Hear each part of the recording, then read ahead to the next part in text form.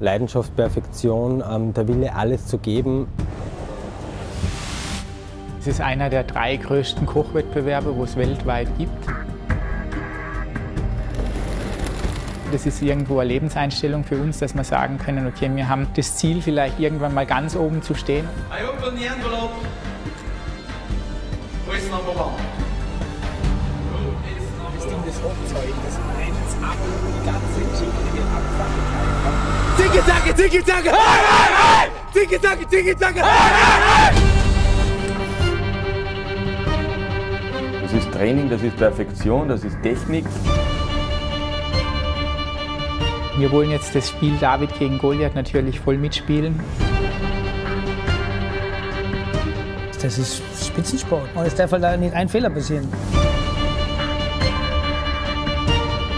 Das ist ja kein Essen mehr. Das ist, das ist einfach nur Kunst. Du kannst mir alles nehmen, aber du kannst mir nicht das Kochen nehmen. Mir läuft jetzt selber den Kalt über den Rücken runter. Ich meine, ich weiß, was das bedeutet.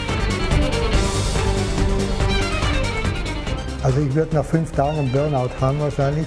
Also das wäre kein Wettbewerb, in dem ich bestehen könnte. Wieso macht man das? Ja, weil Köche meistens fix sind.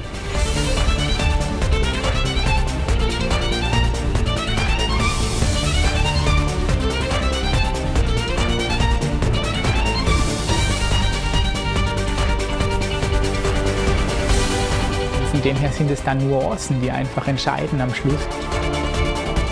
Oh, verdammt, da hätte es besser aufpassen müssen. Es hätte nur besser sein können.